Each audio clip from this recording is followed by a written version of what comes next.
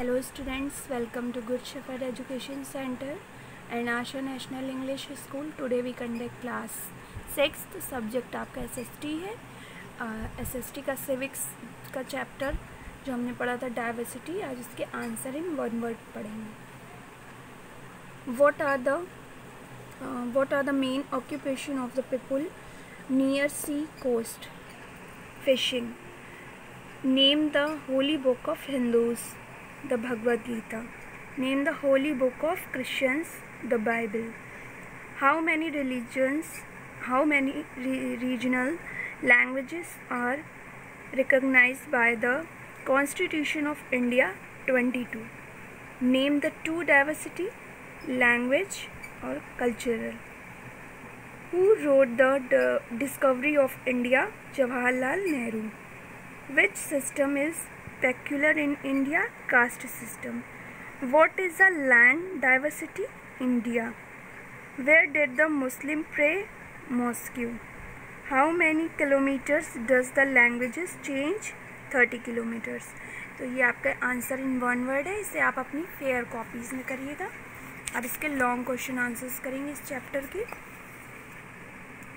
जो कि आपके ये दिए हैं आंसर है write a short note on economic diversity economic diversity के बारे में आपको बताना है। एक शॉर्ट नोट देना है। तो आप यहाँ से लेकर के यहाँ तक करेंगे। ये शॉर्ट का फ़र्स्ट होगा फिर सेकंड आपसे पूछा गया है what are the main religions of India तो आप सभी को पता है, हिंदू, मुस्लिम, सिख, हिंदू, मुस्लिम, सिख और क्रिश्चियंस। ये आप चार नाम लिखिएगा। राइट द फिर इसके बाद नेक्स्ट क्वेश्चन है write names of the holy book of the Hindus Muslims Christians तो आप सभी को मालूम होगा तो हम फिर भी बता रहे हैं द हिंदूज़ की है भगवद गीता मुस्लिम्स की है कुरान क्रिश्चियंस की है बाइबल ओके ये आप अब आंसर लिखिएगा. How are villages and town interpretant interdependent on each other ये आपका, यहाँ से आपको करना होगा।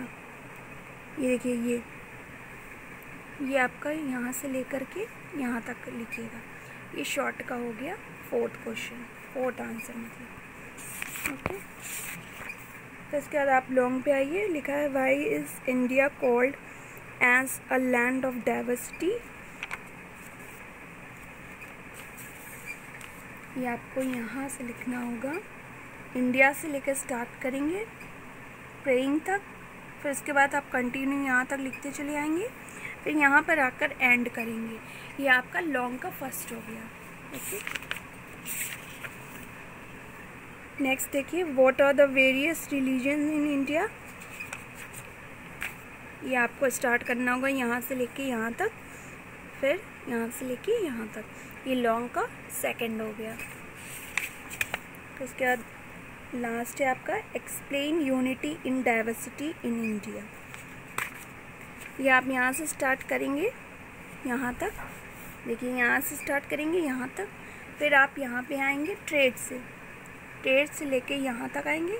फिर उसके बाद आप यहाँ तक लिखेंगे। यहाँ से लेके यहाँ तक। ये आपका हो गया लॉन्ग का थर्ड ये आपके क्वेश्चन आंसर्स है। इसे आप अपनी फेयर कॉपीज़ में करिएगा। ये आपका होमवर्क होगा। बाय